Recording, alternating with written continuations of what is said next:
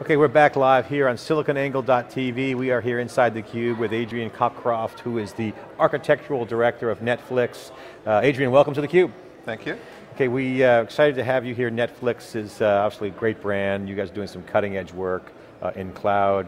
Um, obviously the company uh, is a very disruptive company, disrupted uh, industries. It's very much like what, what, Apple iTunes did to the music business, Netflix has done and continues to do um, to the media business. Uh, uh, it's fantastic to watch, congratulations to the company. Uh, but more kind of under the covers is, there's a lot of tech involved. You guys are, I guess, pure play Amazon, for lack of a better description, cloud uh, solution. Yep. So your supplier is Amazon, which you know, made their bones as really inventing this notion of public cloud uh, for developers. So um, take us through quickly, you know, state of the infrastructure at Netflix, and then let's talk about what happened here at Cassandra Summit where you gave a, kind of a risky demo, but it worked. You were a little nervous on Twitter. Uh, you tweeted to me last night and this morning, a little nervous. I said stay positive, so good karma came your way, worked. Okay. We're going to walk through yeah. that. But first, take us through kind of what's happening with, with the infrastructure at, at Netflix. Um, well, about three or four years ago, we made the decision to try and build out on cloud, and we did it piece by piece. So we did some trial projects and things like that, and it basically has been working. Um, around about two years ago, we made a similar uh, decision that we needed to look at um, look at uh, a NoSQL solution, and that was where we got into Cassandra. And for about the last year and a half, we've been working through this transition of getting basically everything we've got running on Cassandra on Amazon. Um, and it's now the master data store for most of our data. So it's not like it's a copy of the data that's somewhere else in a, you know, in the data center, it's the master. And so we have backups and archives and all kinds of things like that. So we've had to turn it around, and as we've done that, as we've moved to the cloud, we've got more and more reliable, and availability has got better. Are you guys uh, just relying on Amazon right now? As the, the only the streaming service runs completely on Amazon. Yeah, and it's yeah, we only use one provider. Okay, great. Let's talk about, uh, obviously NoSQL, we're going to get into some of the more of the religious discussions later around NoSQL, relational databases. Mm -hmm. I'm on record as saying, you know, they're all great and it's not a mutually exclusive situation. Obviously, schema is important. Schema less or schema light mm -hmm. uh, is relative good to being, having being flexibility with data. Uh, we'll come back to that, but I want to talk about uh, really the core thrust of what's going on in the developer community is, I have ideas, I want to get them into production as fast as possible, and I want to accelerate the step from prototype to production. Mm -hmm. And that is, it's been well documented, there's no need to rehash it here, that we're in a beautiful time right now where you can, yep. you can it doesn't cost a lot to get something prototyped, but right. getting into production is a whole other ball game. So talk about what you are, are doing here at Cassandra Summit and your demo in particular. Yeah. So we have we had four goals when we did the cloud migration for Netflix. Um, one was to be lower latency for customers and better performance. Another one was to be scalable or scale independent, so we could scale to any size we needed to be. Another one was to be as reliable as possible because your TV set should just work when you talk up to it. It shouldn't care about whether anything else is working. And the final one was to be very productive for developers and we put a lot of effort into getting everything out of developers' way. And the first slide I had was things we don't do, mostly maybe wait, wait, wait, talk to IT, wait three months for a machine, all that kind of stuff. That all goes away. Uh, I didn't ask permission to run this benchmark, this demo. I just went, yeah, let's, it sounds like a good idea. Once a day it sounds like a good idea. But we were just deploying machines. So I deployed uh, 48 machines live in production um, well actually in our test account, but in our Amazon account. I could easily have done this in production, you know, with like one extra click. Um, and um, we did it using a, a, Jenkins build job, and that's uh, our continuous integration, continuous integration system. So basically, we, we worked out this, this build job where you just click a button and it creates a cluster from scratch, runs a benchmark against it and shuts it down all in less than an hour. What was your purpose of showing the demo? Obviously, we all know Amazon's great for provisioning, it's very fast, but what was the point of the demo? The point was obviously the ease of deployment. There are two, uh, two points. One is that there are uh, so the Cassandra community is sort of split between people in the cloud and people in the data center. We, we call the data center guys server huggers sometimes because they like server huggers. So it was to try and try and blow the minds of as many of the server uh, huggers in the audience as not possible. Not tree hug, not to be confused with tree huggers who uh, you know, totally green. The data center. First of all, people it's in the data center. It's not about being green. It's yeah. about wanting to have control yeah, and not wanting to right. let go of control of the machines in your Got data it. center. And so, you know, the fact that I can create an arbitrary large cluster in real time without having to go and deal with anyone else, right? That, with all automation. So that was one piece. The other was that I actually ran two clusters side by side. Uh, one of them running the conventional hold on, hold system. One, we're running the, in hold production. on, the two, the two camps are the data center, the, the server hub, Data center and cloud. And cloud, okay, got it. Yeah, cloud and on-prem, whatever, however you want to call Okay, it. Okay, cool. So what I wanted to do also was show what happens when you add solid state disks, which Amazon did recently, and we were quite involved in the whole process of getting Amazon to do the solid state disks, and we've had early access to it, and we have a pool of them that we're currently testing against, and I managed to get 24 of them out of that pool, and they're very hard to get right now. Most people in the audience trying to get access to these at all. So it was partly just kind of coming like, hey, if you want to play with solid state disks, come work for us was the other Yeah, yeah, reason we did this. But um, I ran side by side the same test. The only thing we changed was the instance type. They- They have roughly the same memory, similar CPU. One of them has solid state, two SSDs, one of them has two regular disks. And they kind of come up and they're sort of okay. And then we, halfway through, um, we auto-scaled them, well, we scaled them. So we start off with two 12-node Cassandra clusters. It takes a few minutes to create them. Uh, within you know, five, ten minutes, they're loading, they're, we're running data against it. That's from nothing, right? There is nothing. I've just got, a, I just have a build job in Perforce that goes and runs using, using Jenkins. The point to the audience is, look, you can go from zero to, uh, Zero to a system that's, that's having data written into it Real production, moving an app and Yeah. workload Production into quality, ready to roll, reliably works. Got it. Um, uh, somewhere along the way, if one of the instances we're grading from Amazon doesn't work, it, it actually, I think that happened. One of, the, Am- one of the instances didn't come up right. Amazon automatically killed it off, replaced it, it just kept working. Uh, delayed, us, delayed one of the instances by five minutes. That came up. The other one, I come up with a solid state disk, and it has much better performance. And what, one of the things about Cassandra is you can increase or decrease the size of a Cassandra cluster, but it's a very intensive operation. So what I wanted to show is that you can use the solid state disks to make that something that you can just go do.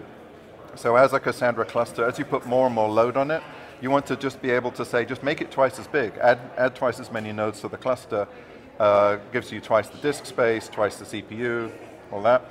Um, and, but normally if you try and do it, the machine tanks, you know, the whole cluster runs out of performance while it's trying to grow, because it's extra work for it.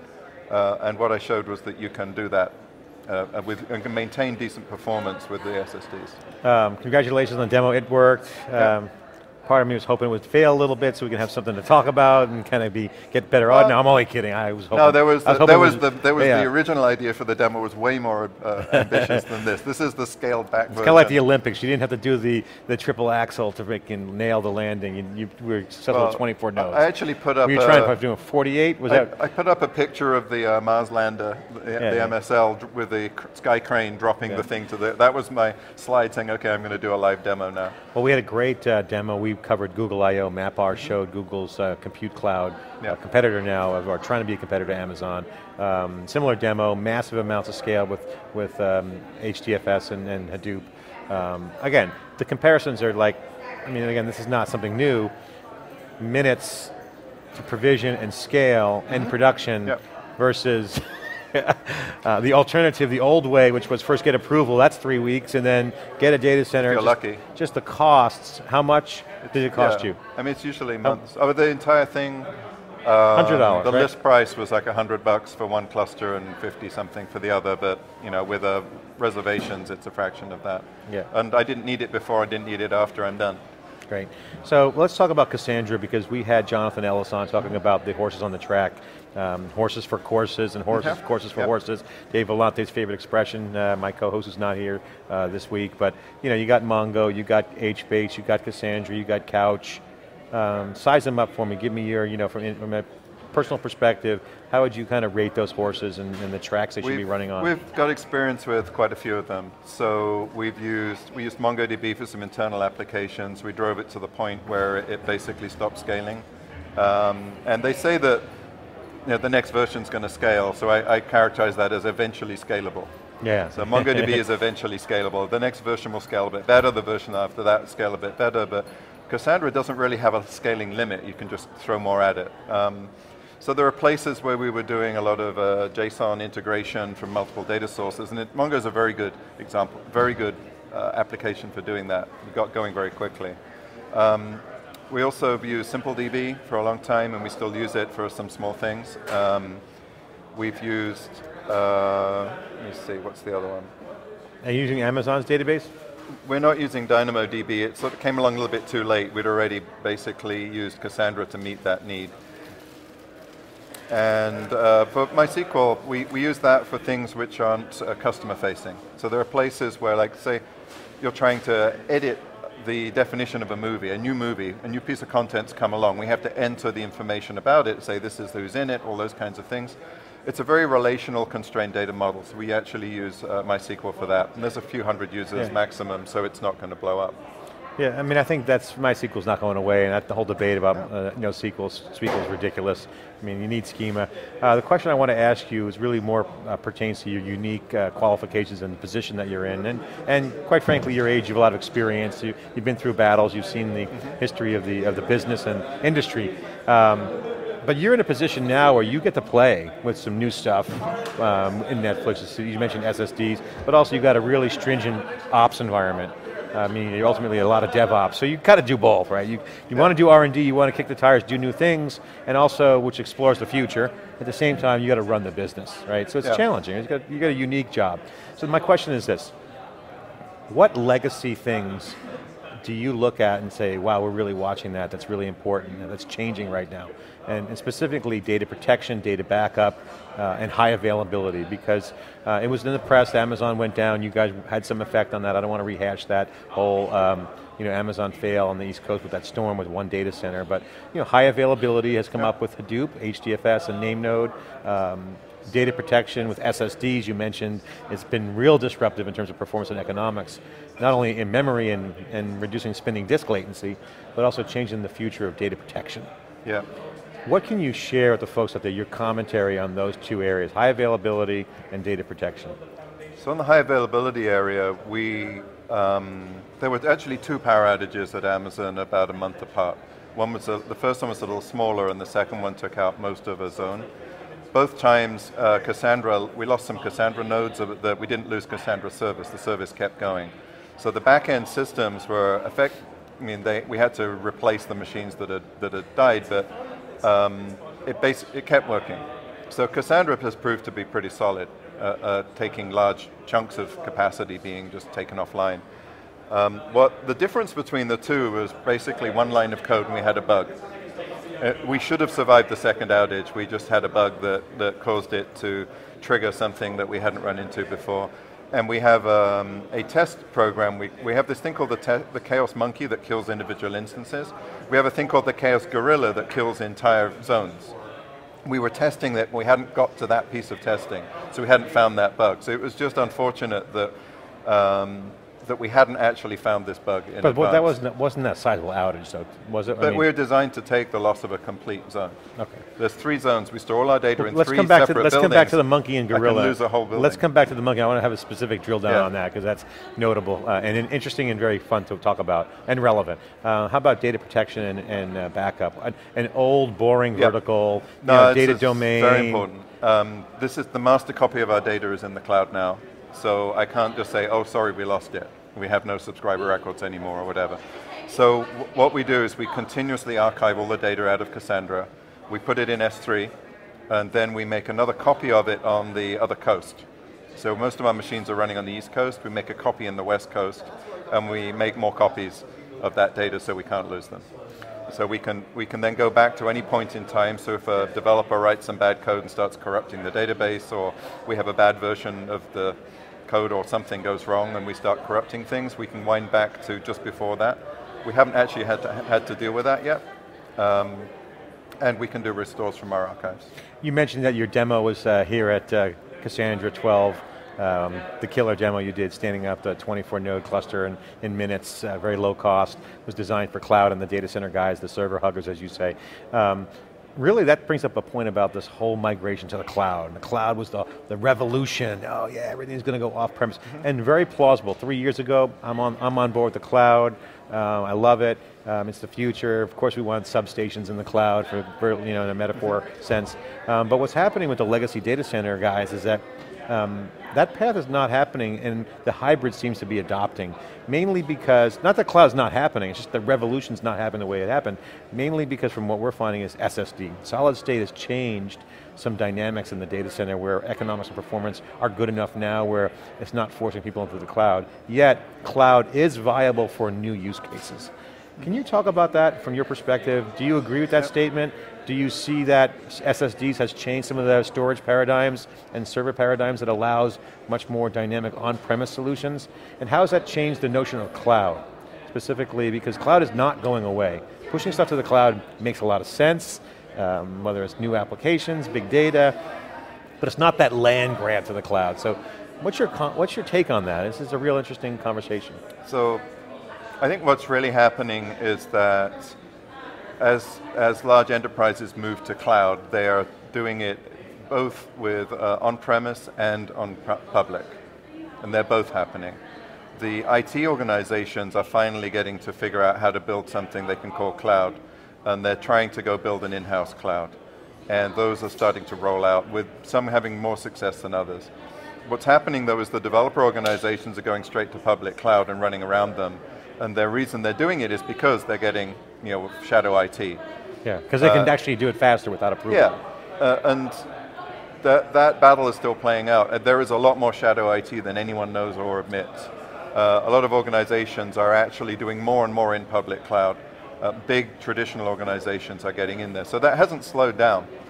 Yeah, yeah. But what's happening now, it's being legitimized by the fact that you're now trying to do cloud in the data center as well. It's one of these things where when you stand up a competitor, you legitimize the thing you're competing against and actually increases adoption overall. Yeah. So I, I think mean, in both sides, I mean, we're, we're hybrid. We started off in the data center, then we moved things piece by piece to the cloud. So we're a hybrid app. But what we're getting to is the point where our data center can totally go down and our cloud stuff still runs. Yeah. Uh, and we have more, it's newer code, it's uh, better architected for availability in, in, in our cloud-based application. We have a lot of legacy stuff in the data center which we're cutting the ties from so that it doesn't actually cause problems for us. I actually, I mean, think, so I actually think shadow IT is actually a good dynamic.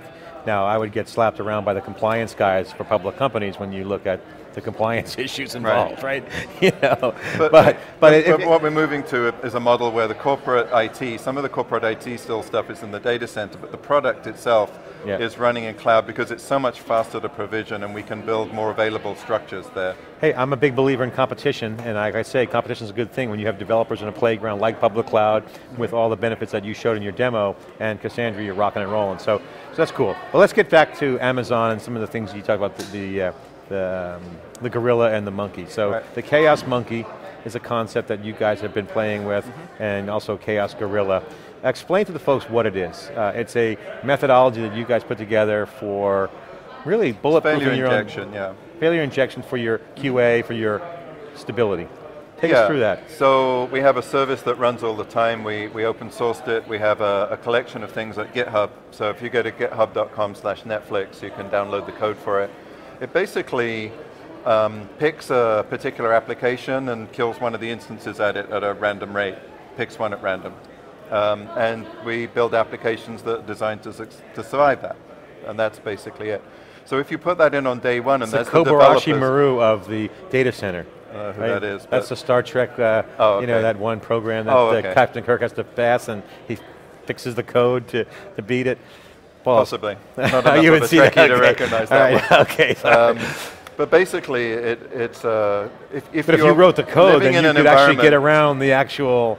Well, say if you're a developer and you think, you know, I'll just write this data to this file on this machine, and it'll probably still be there tomorrow. But if you know that there's a chaos monkey out there that's just going to delete yeah. machines continuously, you know that really I have to write it to Cassandra so the only persistent place I can yeah. store things is in, is in Cassandra. Just don't do a, a, ranking mechanism on it because then the hackers will actually look at the code and code around the monkey. You can opt out of the monkey if you, you want can, to, okay. and it, because it, we have a whole army of these things. There's one that injects latency. We have ones that look for security fail, security. So you mentioned you got a lot of blog like post hits on that on that blog post, so it's popular. Yeah, so the Chaos Monkey has been our most popular blog post that we've had, and it's the, the number one download we have on GitHub right now. Talk about the Chaos Gorilla. Chaos Gorilla, the idea there was that um, we wanted to be able to migrate from one zone to another zone. If a zone was having problems, we wanted to be able to shut down everything in that zone bring it up in a different zone. So that's what we've, we've implemented with the Chaos Gorilla, and we can also use it to simulate zone level outages. So we should be able to survive loss of a third of all the machines that we have as a unit, and then just have everything continue to run on the other two thirds, and without any customer visible outages. Adrian, final question. I want you to share with the audience just your personal experiences over the past, uh, just go back five years. Um, Actually, you know, go, yeah, five years is about Web 2.0. We're in the thrust of the whole Web 2.0. Netflix is a known brand, really kind of hitting their yep. stride on pre-streaming the web, and you're booting up your operations. Uh, take us through just your own personal, and share with the folks out there what you've learned, and uh, what you would share with folks like to avoid, and then what's going forward. What are you What are you expecting? What What uh, emerging trends are Are you excited about? What are you watching closely? You worried about, or well, going back five years, I've been at Netflix a little over five years. I joined uh, managing one of the personalization teams. We were totally data center based, but we did have the streaming service that just launched. So the beginning of 07.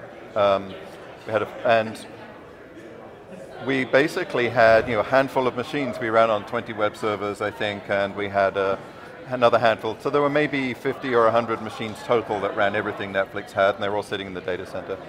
And it was very painful. They were all slightly different configurations and they'd break in odd ways and have different bugs and it was an awkward thing to, to deal with. And as we built more automation around it, we decided that it was easier to automate cloud-based things than try to get automation into our data center. So that was part of the transition to cloud, was the ability to automate everything, the ability to click a button and have an entire benchmark run like I just did. So that's really what's changed over the last few years. The level automation and the maturity of things has really moved on. So now we're at the level where we have 10,000 machines instead of 100 um, to, to run the website. A lot of folks who are doing with things with HBase and Cassandra, their first reaction is, I want to bring it the bare metal on, a, on my on-premise. Um, either handle might be cheaper. Is that a is that true statement? Not true statement. What's your advice? Um, how I want to start taking in all the Twitter data. I want to start playing with yeah. log data. Should I use the cloud? Should I bring it in on, on Generally, if you have a constant workload that isn't changing, that you're going to run for years, you can do it cheaper in-house. If you've got any dynamics in your workload, like you're growing, or, you, um, or you're just very agile and things are changing a lot, then it, the way it looks in, a, in six months doesn't look like what it looks now, so you bought the wrong thing. The, the, one of the reasons we went to the cloud was we couldn't, couldn't plan what, what data centers to build where with any reliability, and we were worried we'd run out of capacity. So the best example, we launched in uh, Europe at the beginning of this year. We just fired up some machines in Amazon, Amazon Europe.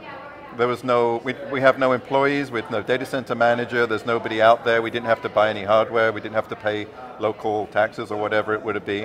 We just went, okay, I need a thousand machines in Europe, okay, there's a thousand machines in Europe. It took a few days to fire them up, right? There was no, so, and then we had just the right number of machines. If you're going to go into a, a new continent, you don't just buy a data center that could fit a thousand machines, because in a year you're going to maybe need 2,000. regulations right? and all kinds no, of stuff. No, but you, you, you have to oversize on day one. So you end up paying an enormous amount of money for this big facility, and then you change your mind and decide you're not going into Europe just before you launch, right? Yeah. Or you, something else, right?